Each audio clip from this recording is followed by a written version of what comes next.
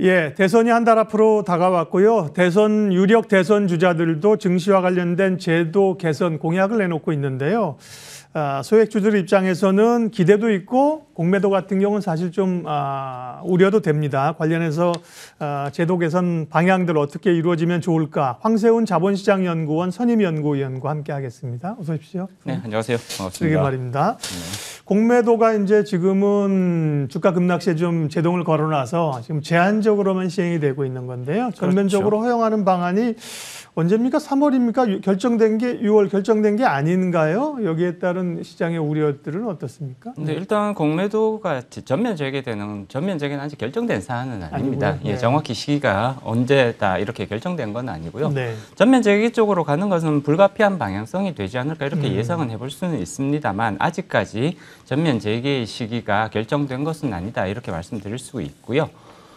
작년 5월 달에 이제 공매, 공매도가 부분 재개가 됐죠. 코스피 200 종목, 그 다음에 코스닥 150 종목, 총 네. 350개 종목에 대해서 공매도가 이제 재개가 됐고요. 나머지 2천여 개 종목에 대해서는 여전히 공매도가 금지되어 있는 상황입니다. 그렇지만 이러한 공매도 금지 조치가 계속해서 이어지기에는 사실 조금 이렇게 여러 가지 이제 의견들이 많이 나오고 있는 상황이고요. 물론 개인 투자자들을 중심으로 해서 공매도에 대해서 굉장히 많은 원성이 여전히 이어지고 있는 것은 사실입니다만 그렇다고 해서 공매도 이제 부분 재개되는 이런 이제 약간은 어 특히 이제 조금 특히나 이제 해외 관점 내지는 글로벌 네. 스탠다드 관점에서 보면 어, 왜 이렇게 계속해서 공매도가 이제 금지되는 기간이 길어져야 되느냐에 대해서 의구심도 많이 제기되고 있는 상황인 건 분명하거든요.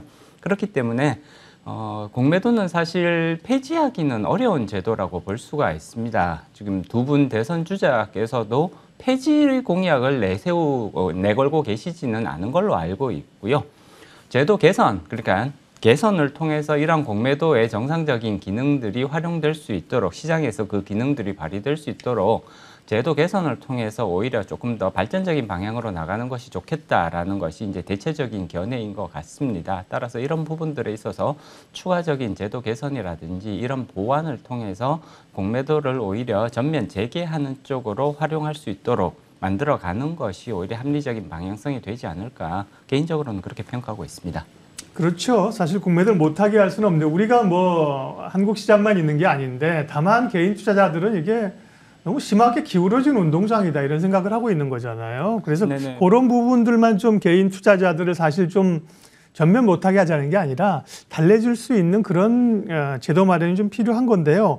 결국 이제 공매도를 재개해야 된다는 이유 자체가 풀어야 된다는 게 결국 외국인들 글로벌 시장이라는 거잖아요. 그러면 외국인들은 지금 공매도가 제한되고 있는 거에 대해서 한국 시장에 대해서 부담을 느끼고 있는 건지 이게 풀어지게 되면 외국인들이 돌아온다고 볼 수 있는 건가요? 일단 공매도가 재개된다고 해서 외, 외국인들이 전면적으로 돌아올, 돌아올 것이다 음. 이렇게 기대해서는 조금 곤란할 것 같고요. 물론 공매도가 가능하냐 또는 가능하지 않느냐는 외국인들 관점에서 보면 이 시장에 들어갈 건가 말 건가를 결정할 때 한 가지 고려 요소가 되는 것은 분명합니다. 네. 그렇다고 해서 지금 이제 이미 350개 종목에 대해서는 공매도가 재개되어 있는 상황이고요. 나머지 종목들에 대해서 공매도가 금지되고 있는데 이러한 부분들이 외국인들이 한국 시장으로 들어갈 것이냐 말 것이냐 에 결정적인 영향을 미치는 요소가 되기는 어렵다고 판단해 볼 수가 있죠. 외국인들은 주로 대형주 큰 종목들을 중심으로 해서 이제 투자를 집중하는 그, 그런 경향들이 관찰이 되고요. 물론 많은 외국인들이 롱숏 전략을 씁니다. 한 특정 종목에서는 공매도를 하고 다른 종목에서는 이제 매입 포지션을 유지를 하는 그래서 공매도와 매수 포지션을 다 같이 활용하는 이런 롱숏 전략들을 주로 많이 활용하기 때문에 공매도가 금지되어 있는 종목이 많으면 많을수록 외국인들은 여기에 대해서 조금 당연히 조금 안 좋게 생각할 가능성은 높겠죠. 그렇다고 하더라도 공매도가 전면 재개가 되면 이제 많은 분들이 이제 또 그렇게 오해하시는 영역도 있는 거거든요. 네. 공매도가 전면 재개되면 그럼 외국인 자금이 한꺼번에 이렇게 많이 들어올 수 있을 거냐? 그럴 가능성은 상대적으로 높지 않다고 평가를 음. 해야 될 것 같습니다. 공매도가 중요한 고려 요소인 것은 사실입니다만 공매도 이외의 요소, 예를 들자면 한국 기업들이 얼마나 지금 좋은 성적을 보이고 있느냐, 얼마나 많은 수익을 보- 벌어들이고 있느냐 이런 부분들이 사실상 훨씬 더 중요한 요소 내지는 환율과 관련된 그런 요소들이 훨씬 더 중요한 요소라고 봐야 되는 거고요. 네. 따라서 공매도가 전면 재개되면 외국인 자금들이 아주 많이 들어올 수 있을 거냐 이런 기대는 사실상 조금 음. 과도한 기대라고 볼 수가 있습니다. 영향을 미칠 수는 있겠습니다만 이것이 굉장히 메인 포인트가 되기는 좀 어렵다 라는 점은 지적할 필요가 있겠죠. 외국인들은 아무래도 큰 기업, 큰 종목들을 많이 거래를 하니까요. 코스피의 200개, 코스닥의 150개는 이미 공매도가 허용되고 있으니까 큰 영향은 없을 것이다. 그러니까 그냥 지금 수준에서만 묶자는 건데 또 그건 아닌 거니까요. 그러면 어쨌든 공매도 관련된 얘기를 사실 뜨거운 감자인데요. 대선 주자들도 그렇고 지금 아, 아까 말씀드린 것처럼 개인 투자자들의 소외감, 그 다음에 일부 외국계 같은 데서 우리는 사실 주식을 빌려야만 매도를 할 수 있는 시스템인데 미국은 그렇습니다. 이제 안 빌리고 할 수 있는 거잖아요. 근데 마치 안 빌리고 하는 것처럼 일부 좀 노이즈도 있고 그랬어요. 공매도가 앞으로 그러면 어떤 개선 방안들을 좀 논의를 해야 됩니까? 네. 지금 이제 공매도가 불평등하다라는 기울어진 음. 운동장이란 그런 불만들이 많이 제기가 되고 있습니다. 네. 그렇지만 이제 상당 부분은 지금 공매도 제도가 어떤 식으로 운영되고 있는지 정확히 이해하고 계시지 못한 부- 부분들도 상당히 네. 있거든요. 예를 들자면 가장 대표적인 것이 외국인들은 무한정 주식을 빌릴 수가 있고 음. 국내 개인 투자자들은 지금 이제 90일까지만 빌릴 수 있는 것이 아니냐라고 오해를 하고 계시는 분들이 아직 상당히 시장에 많이 계신 것 같고요. 사실 우리나라 네. 개인 대주 제도죠. 네. 개인 대주 제도도 지금 현재로서는 90일을 계속해서 연장하실 수가 있거든요. 잠깐만요, 목사님. 그동안은 이제 개인들은 사실 공매도를 활용할 수 있는 방법이 거의 없었는데 지금은 주식을 빌려서 개인도 공매도를 할 수 있도록 허용이 되긴 된 거죠. 이미 그 제도들이 네. 운영이 되고 있고요. 네. 따라서 개인 투자자들도 주식을 빌려서 공매도에 참여하는 것이 이미 충분히 이제 열려 있는 상황이고요. 네. 물- 물론 모든 종목 아직까지는 이 대주풀이 크지 않기 때문에 음. 모든 종목에 대해서 가능하지는 않습니다. 그렇지만 기본적으로 코스피 200 종목, 그 다음에 코스닥 150 종목 이 정도 종목에 대해서는 충분히 공매도에 참여하실 수가 있고요. 그 다음에 90일까지만 빌릴 수 있다라고 오해를 하고 계시는 분들이 굉장히 아직까지 굉장히 많으세요. 네. 그렇지만 기본 계약 단위는 90일입니다만 이 90일을 계속해서 연장하실 수가 있거든요. 예. 그렇기 때문에 사실상 그 계약 기간, 대주 기간에 대한 제약은 음. 이미 현실적으로 거의 없다라고 볼 수가 있습니다. 네. 90일을 계속 몇 번이나 연장을 하실 있다. 수가 있거든요. 그렇기 때문에 현재로서는 360일이 아니라 더 길게도 연장을 하는 것이 이미 가능한 상황입니다. 네. 따라서 이런 부분들에 대해서는 조금 오해가 없이, 음. 없으셨으면 좋겠어요. 제도는 좀 돼 있는데 근데 사실 개인들이 가서 기관들과 외국인들처럼 같이 장안 좋을 거 가면서 적극적으로 공매도를 쳐갖고 수익을 낼 수 있느냐 이 부분에 또 문제가 있는 거죠. 예, 공매도 얘기는 오늘은 이 정도만 하고요. 할 얘기는 많으나 다른 주제들이 많아서요. 최근에 LG 에너지 솔루션을 필두로 해서 물적 분할에 대한 소액주주들의 불만이 상당히 많습니다. 이걸 이렇게 활용하라고 만든 제도인가 싶기도 한데요. 물적 분할 관련해서는 어떤 목소들이 나오고 어떻게 좀 제도가 개선될까요? 네, 일단 조금 이제 구분을 해서 살펴볼 필요성이 예. 있는 것이요. 물적 분할 자체가 문제가 되는 것이 아니라 네. 물적 분할을 하고 나서 그 자회사를 상장을 하는 이 네. 중복 상장이 오히려 더 문제가 되는 음. 것이거든요. 기업들이 필요하다면 인적 분할이나 혹은 물적 분할을 활용할 수 있도록 허용하는 것 이거는 음. 존중받을 필요성이 있다고 봅니다. 다만 물적 분할을 한 다음에 그 자회사를 상장시키게 되면 모회사도 상장되어 있고 자회사도 상장되어 있는 이 이중 상장 내지는 중복 상장이 발생을 하게 되는 거고요. LG화학과 엔솔이 그런 경우죠. 그렇습니다. 네. 그리고 이렇게 어, 중복 상장이 되는 경우 특히나 모 회사에 대한 디스카운트가 굉장히 뚜렷하게 나타날 가능성이 높다는 거거든요. 네. 그렇기 때문에 물적 분할에 대한 규제보다는 이 이중 상장 내지는 중복 상장을 어떻게 처리할 것이냐, 어떻게 규제할 것이냐 여기에 조금 더 많은 음. 관심이 모아질 필요성이 있다는 거죠. 기업이 그 경영 활동과 관련해서 물적 분할이 필요한 상황들은 충분히 발생할 수 있습니다. 따라서 이 부분에 대해서는 기업들의 그런 이제 자율권은 보장할 그 존중할 필요성이 있다고 봐야 되는 것이고요.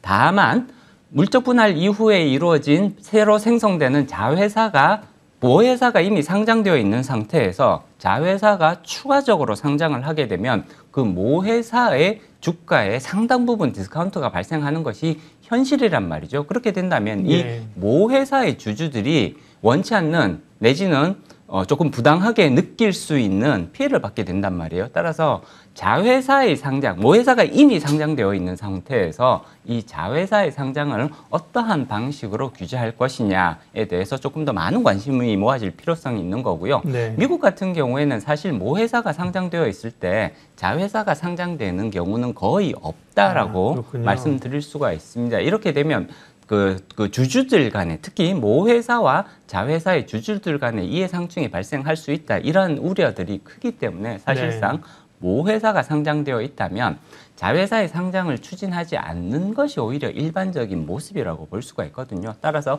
우리도 이러한 것들, 물론 이미 우리나라에는 모회사가 상장되어 있는, 있음에도 불구하고 자회사가 동시에 또 상장되어 있는 케이스가 사실 꽤 많아지고? 예. 많아지고 있습니다. 음. 이런 많아지는 추세를 우리가 계속해서 허용을 할 것이냐, 내지는 미국과 같은 그런 사례를 참조를 해서 여기에 대해서 조금 더 강한 규제를 할 것이냐, 여기에 대한 판단 내지는 선택이 필요한 시점이다. 이렇게 네. 말씀드릴 수가 있죠.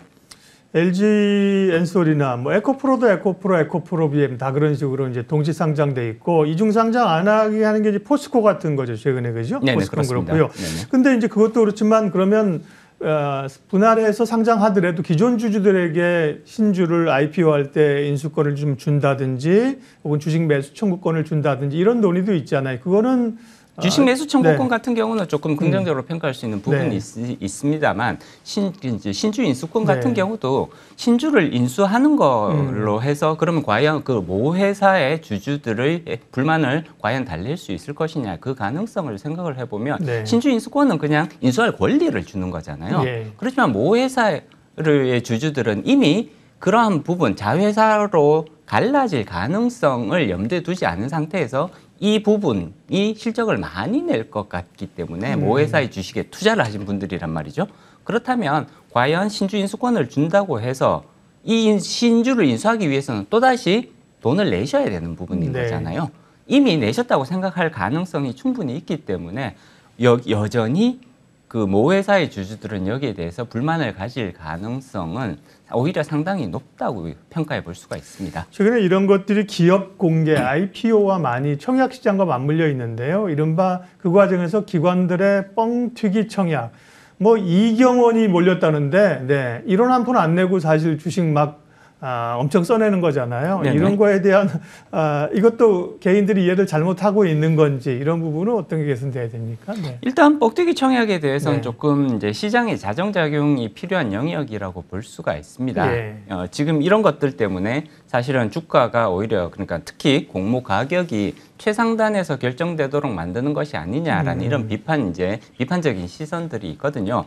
물론 이제 이런 것들이 없다고 해도 사실 이렇게 그 관심이 시장의 관심이 집중되는 종목은 여전히 공모가의 최상단에서 결정이 될 거예요. 다만 그렇다고 하더라도 이런 뻥튀기 청약들이 시장에 조금 왜곡된 정보를 가져올 가능성, 왜곡된 정보를 전달할 가능성은 우리가 충분히 생각해 볼 수 있는 영역이라고 봅니다. 그렇기 때문에 뻥튀기가 일어나지 않도록 예를 들어서 운용 자산의 뭐 2배수 또는 3배수 이러한 방식으로 해서 최소한 그 시장에 그 지나치게 시장을 과열시킬 수 있는 그런 조치들은 조금 시장에서 자정작용이 일어날 수 있도록 규제하는 방법도 우리가 충분히 생각해 볼 수가 있겠죠. 예, 마무리하겠습니다. 지금 말씀해 주신 몇 가지 제도적인 것 말고도 최근에 보면 뭐 오스템 임플란트 사태라든지요, 또 에코프로 비행과 관련된 내부 자관의 혐의 이런 것들 때문에 투자자들이 일반 투자자들이 상당히 좀 또다시 불신, 신뢰감들을 많이 가지고 있는데요. 우리 자본 시장이 건전하게 가기 위해서는 어떤 게 좀 해결돼야 될까요?